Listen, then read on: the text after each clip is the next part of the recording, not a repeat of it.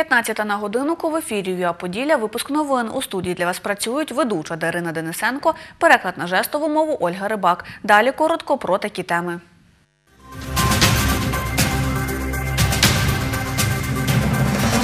Пожежа на військовому складі на Вінниччині на розклад руху автобусів та потягів Хмельниччини не вплинула. Через нашестя американського білого метелика у Старокостянтинові та Городку ввели карантин. У листопаді відбудеться повторна сесія єдиного вступного іспиту з іноземних мов для вступу на магістратуру. Пожежа на військовому складі Вінниччини на розклад руху автобусів та потягів Хмельниччини не вплинула. Про це повідомили чергові оператори залізничного та автовокзалу. Нагадаю, сьогодні близько 11.30 чергові служби арсеналу зафіксували задимлення на території бази зберігання боєприпасів поблизу Калинівки на Вінниччині. Пожежу загасили о 15.15. Життю місцевих та військовослужбовців нічого не загрожує. Евакуації проводити не будуть, розповіла речниця надзвичайників Вінницької області Юлія Каменюк. Загорілася е, суха трава на території арсеналу. Там були боєприпаси, які мали утилізувати. Віталій Бондарів з подробицями. Опівдні біля військового арсеналу чергують патрульні. Вони регулюють рух. Немає зміни руху, немає стандартно забезпечуємо безпеку дорожнього руху. Можливо, якісь навчання, нічого не можу сказати, не знаю. На територію арсеналу журналістів не пропускають. Підійдіть, будь ласка, на проїжджій часі, зараз будуть машини їхати пожежні, будете заважати, ну, без коментарів. Ці фото опублікував Генштаб. На території арсеналу об 11.43 загорілася суха трава. Площа 2 гектари. Вогонь перекинувся на боєприпаси, які мали утилізувати. Усього пролунало близько 10 вибухів, говорить начальник обласної поліції Юрій Педос. Буде проводитись відповідне розслідування відповідними службами і будуть розглядатися е, версії, е, як виникла пожежа на арсеналі. Пожежу локалізували за менш ніж дві години, каже Педос. Місцевому населенню нічого не загрожує. Дітей зі шкіл та садочків вивезли автобусами додому, розповів голова Калинівської ОТГ Анатолій Шамалюк. За кількасот метрів від арсеналу 16 житлових будинків. Олег Музика перші вибухи каже, почув близько 12.00. Всі тут на місці стоїмо. Що я, що жінка, жінка дзвонить звідти, батьки дзвонять звідти, друзі дзвонять звідти. Машина по готові стоїть он до, за углом. Сім'я зараз в Калинівці. Жінка і дитина з школи забрали тут до батьків. А я просто жду. Речі зібрані. Ми не переживаємо, все нормально. Говорити з кореспондентами Суспільного погодились не всі. Я не... И вам не советую. Не, не, не болтайтесь тут под ногами, ребята. Чому сталося займання трави? Чи були неутилізовані боєприпаси під охороною? На ці питання має дати відповідь військова прокуратура. Брифінг керівника буде найближчим часом, розповіла речниця відомства Наталія Титель. Віталій Бондарєв, Івана Дзівінська, Володимир Черніков, Вадим Наумчак. Новини на Суспільному. Вінниччина. Через нашестя американського білого метелика у двох містах Хмельниччини ввели карантин. Це Старокостянтинів та Городок. Зараз там проводяться фітосанітарні заходи, щоб зупинити шкідника. Про це повідомила начальник відділу карантину рослин головного управління Держпродспоживслужби в Хмельницькій області Віра Моташко. За її словами, популяція американського білого метелика починає збільшуватись.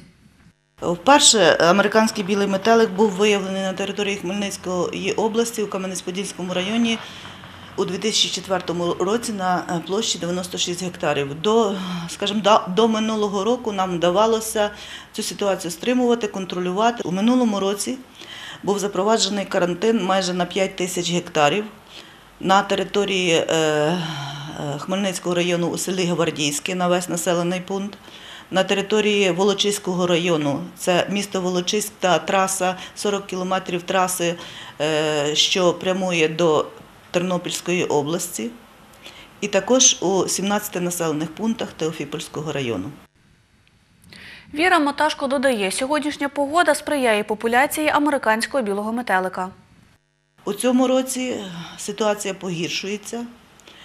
Е, Виявлений е, американський білий метелик на е, території е, міста Старокостянтинів. Запроваджується карантинний режим, це площа 4 тисячі гектарів, та місто Городок майже 3 тисячі гектарів. Цей шкідник він е, пошкоджує понад 300 видів дерев. Сюди відносяться і плодові дерева, дикоростучі дерева, особливо він полюбляє клен, яблуня, груша. Варто де от в кого на присадибній ділянці складені дошки, є щілини у е, е, фундаменті. Е, Варто це все переглянути, позбирати ці лялечки і поспалювати. У Хмельницькому поки не виявили американського білого метелика, розповідає Віра Моташко. Додає, при перших ознаках шкідника радить звертатись до відділу карантину рослин Головного управління Держпродспоживслужби в області. Наш кореспондент Богдан Семенюк завтра працюватиме у Старокостянтинівському районі. Про масштаби зараження шкідником дерев та фінансові збитки від цього він розповість у підсумкових випусках новин о 19 та 20.30.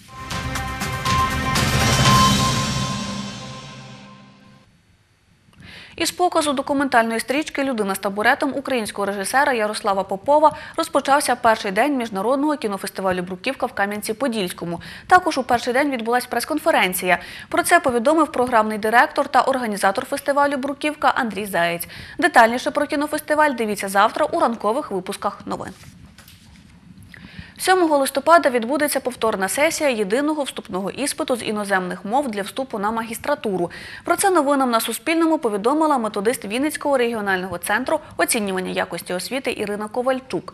За її словами, повторну сесію організували для тих, хто не встиг зареєструватись у травні або ж незадоволені результатами тестування. Складатимуть іспит на базі Вінницького регіонального центру оцінювання якості освіти, додає Ірина Ковальчук. Для того, щоб дати можливість е, цим двом категоріям е, все ж таки вступу до магістратури, проводиться ось ця спеціальна сесія.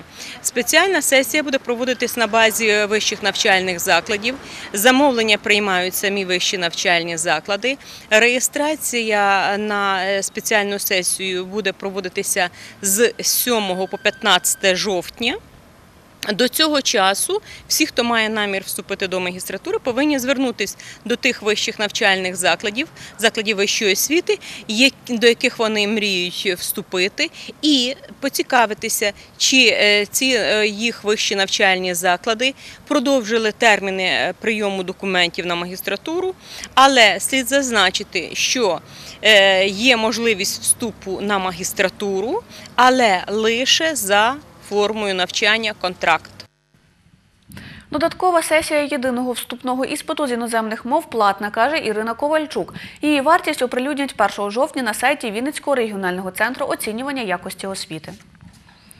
Законодавчі ініціативи для безпечного існування тварин подала волонтерка Хмельницької громадської організації Врятуй життя Ірина Кравчук. Вона розповідає, 12 вересня у Києві відбудеться засідання круглого столу співорганізаторів всеукраїнського маршу за захист тварин та офісу президента. Там каже Ірина Кравчук, будуть розглядати законопроекти про утримання тварин. Жінка додає, вдруге волонтери громадської організації Врятуй життя долучаться до маршу за захист тварин. Е, Я думаю, що основним, як то кажуть, результатом таких маршів все-таки має стати прийняття законопроекту е, Верховною Радою про утримання тварин. Тобто, це повністю ситуацію потрібно нам е, докорінно змінювати. На даний момент, як то кажуть, є правила утримання тварин, але немає закону, як мають тварини утримуватися, які мають бути зобов'язання власників до утримання, тварин, і які мають бути наслідки е, в результаті жорстокого поводження з тваринами. Нагадаю, у Хмельницькому марш на захист тварин відбудеться 15 вересня. Ходу розпочнуть о 12-й годині з Майдану Незалежності. Пройдуть центральними вулицями міста до кінотеатру Шевченка. В обласному центрі марш за захист тварин відбудеться вдруге.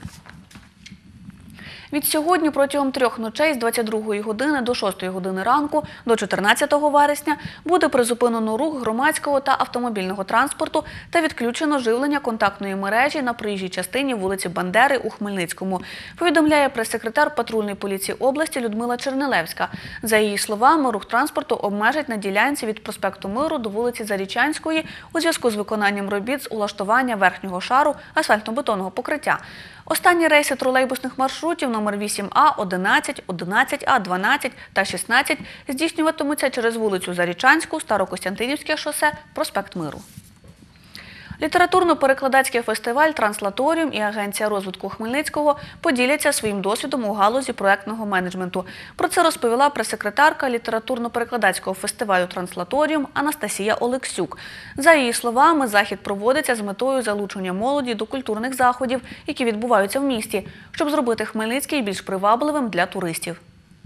Літературно-перекладацький фестиваль Транслаторіум спільно з агенцією розвитку Хмельницького готують неформальну зустріч в Хмельницькому молодіжному центрі. Під час цієї зустрічі е, організаторки фестивалю будуть розповідати про те, як ми залучаємо грантові кошти на розвиток фестивалю, де їх взяти, до кого звертатись, як заповнювати краундфандингові заявки.